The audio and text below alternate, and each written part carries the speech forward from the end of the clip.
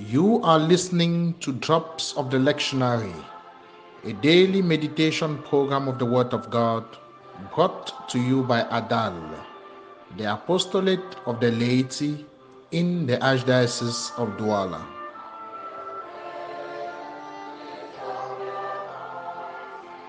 Lord, as I begin a new day and a new week, let your word be the light to guide my steps for the greater glory of your name.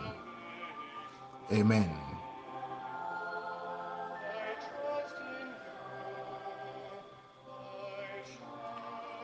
A reading from the letter of St. Paul to the Ephesians, chapter 4, verses 32 to chapter 5, verse 8.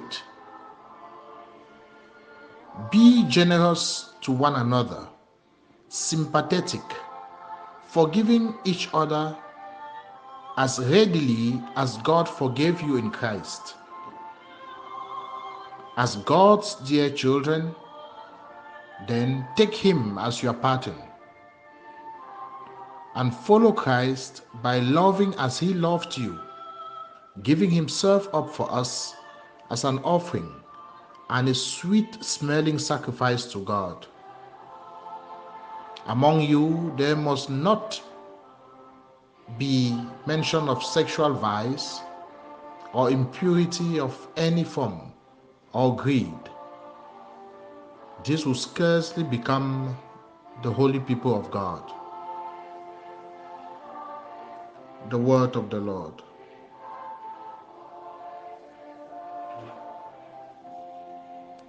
Brothers and sisters, we are all different from each other. We have different stories to tell. We were each raised differently, even from the same parents and family. No two humans are the same. Situations of our past affected us differently. We all have shortcomings and weaknesses that often get in the way of our relationships. For this reason, it is difficult to predict even our own actions and reactions when faced with certain situations. As such, in order to be at peace with ourselves and with others, we are always struggling to get our actions right. We try to stand when we fall. We try to mend our broken relationships and cure our wounds when we get hurt along the way. My brothers and sisters, as Christians, we have a better and a much peaceful way in Christ. St. Paul assures us this morning. Life is not meant to be a battle with ourselves and with others. Yes, it is possible to live without being controlled by our vices and our impurities. It is possible to live without being controlled by greed. St. Paul writes to the Ephesians and to us as well.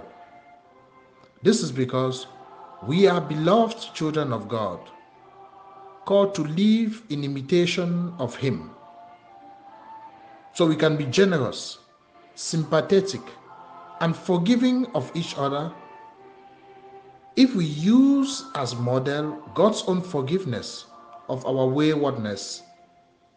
In the same way, the extent of showing love and kindness is that which Christ Himself showed us when He gave Himself up for us as an offering and a sweet smelling sacrifice to God.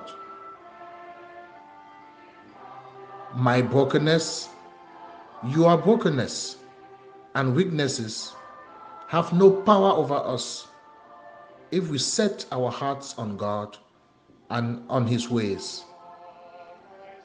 That is how God heals our wounds of sin and division.